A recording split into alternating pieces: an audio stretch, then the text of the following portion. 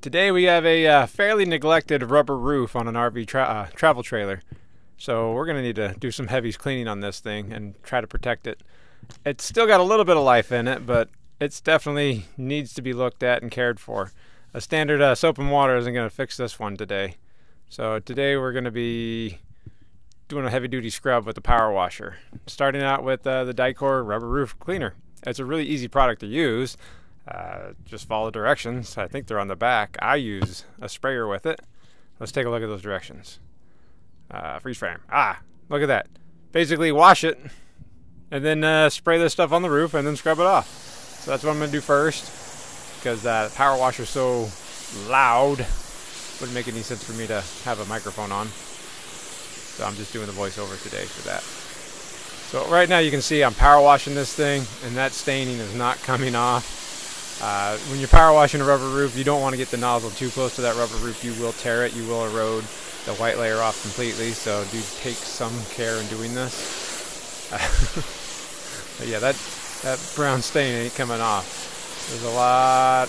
I, I, I think that's just uh, about five or seven years of desert dirt that just got kind of like stuck in the rubber roof. I'll do a few close-ups on it where you can kind of see the, the roof itself almost looks scaly like a, I don't know, like a lizard or, I don't know, a fish. So once you're done rinsing it off, you're going to go to the next step.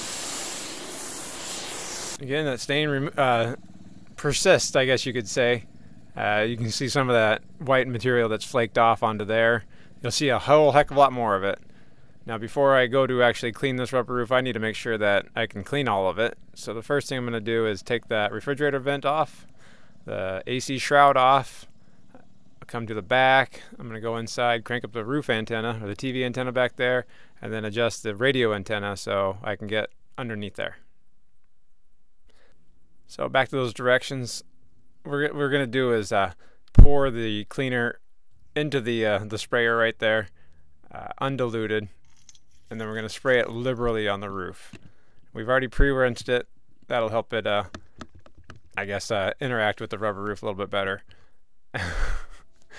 Uh, you can use a a bigger uh, like one gallon sprayer if you wanted to, do, even a spray bottle.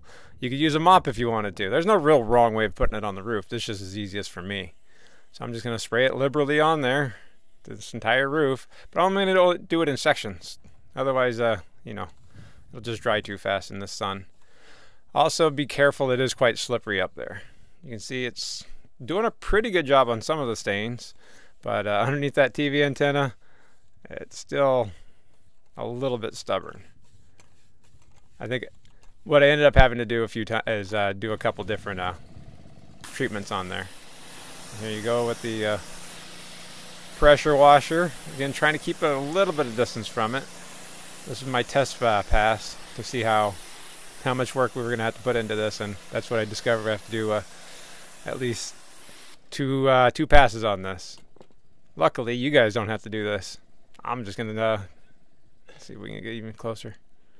See you can kind of feel how bumpy that is. But here you go. There's uh, the second pass. We're looking a lot better now.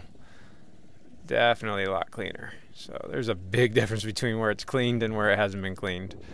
So I'm just going to go ahead and continue on. But if you kind of see it again, I'm trying to get a better angle on that so you can see how scaly it looks. And the the white is designed to to chalk and protect the rubber, the black rubber that's underneath it. So that's what's actually coming off. But yeah, it's definitely making a big mess all over me and the ground and everywhere else. So here we are. I found uh, the sweet spot on this pressure washer and on the, the roof on this one. So I, I think I didn't want to get too close, but also you want to make sure it looks good and it's cleaned. Because after all this, I mean, I actually did reseal the roof. I peeled off all the old sealant. And that obviously made a lot better for the sealant to stick to that rubber roof. About halfway, a little over halfway done. Maybe a, two thirds of the way done. Just a little bit to go. Uh, and then of course after I finished scrubbing this, I did put a a UV protectant back on. It's just a wipe on uh, uh, chemical. Comes in about the same container. It's really easy to put on. Again, you just mop it on like you normally would. But this has worked out pretty well. Uh, I haven't actually cleaned a roof this bad in a really long time. Really quite pleased with the way it turned out. The only bad thing I would probably say, I'll save for the end of the video here. But it looks great, doesn't it? If you, uh, I almost looks like from this side a brand new roof. Uh, we'll look from the front side too.